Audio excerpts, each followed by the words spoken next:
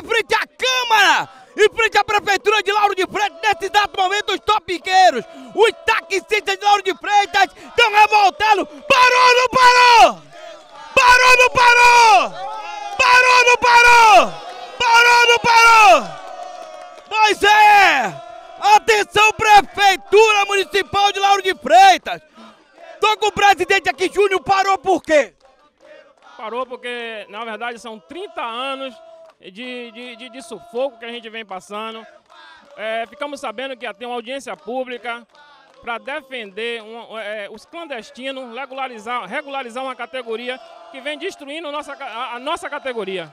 Pois é, esse é Júnior, representante dos topiqueiros. E aqui eu estou com o representante dos taxistas. Vocês também estão aderindo a essa mobilização de paralisar tá sem o transporte, Lauro de Freitas? Sim, de fato, nós estamos aderindo a essa paralisação, porque a falta de respeito com a classe de profissionais aqui nessa cidade tem sido muito grande. Nós hoje temos uma, uma quantidade muito grande de pessoas que aderem a um serviço de forma totalmente desregulada, sem nenhuma legislação, e essa classe só faz sangrar aqui nessa cidade. Precisamos de um abraço da gestão pública.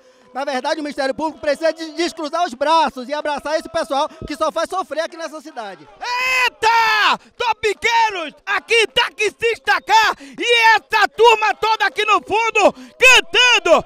Atenção, Prefeitura Municipal de Lauro de Freitas! Com a palavra, a administração municipal LFTV cobrindo a manifestação do transporte complementar alternativo dos taxistas que está contra a legalização do ligeirinho. O quê?